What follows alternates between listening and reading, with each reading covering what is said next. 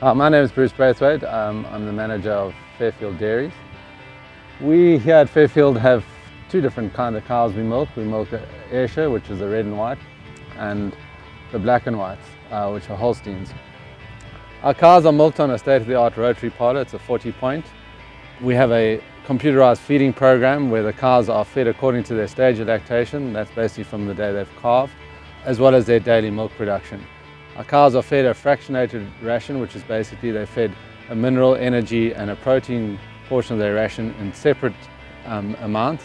That's just to give them a really balanced uh, ration.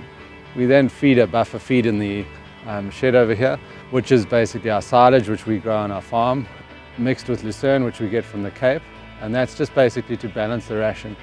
During the day, the cows are out in the pastures, where they eat mainly ryegrass, and during the summer months we substitute that with kikuyu.